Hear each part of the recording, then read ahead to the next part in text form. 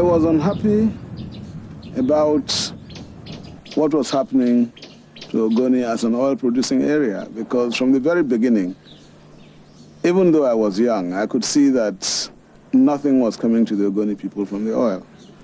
And I started writing about it almost immediately, even though I was only a high school student at the time.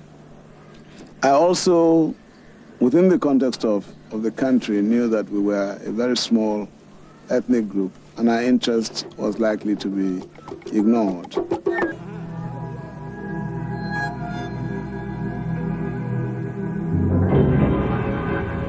Ogoni is the land, the people Ogoni. The agony of trees dying in ancestral farmlands, streams polluting, weeping filth into murky rivers. It is the poisoned air causing the luckless lungs of dying children.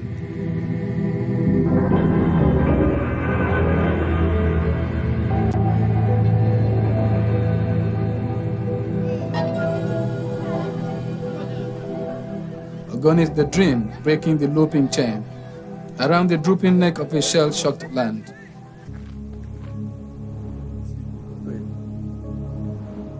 What we are working on now is crude oil, not soil.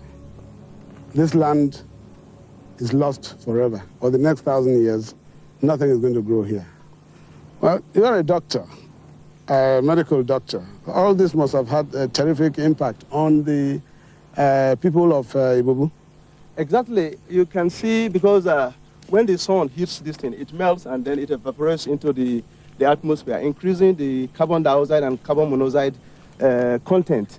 And you know, people live purely by uh, rainwater. Since uh, this stream, you can see, has completely been destroyed. I understand they've awarded contracts for the cleanup of this place, and uh, the place is supposed to have been cleaned up. In fact, in their books, it is that it's been cleaned up twice. Well, you are seeing it for yourself. Whether this place has been cleaned, you can see it.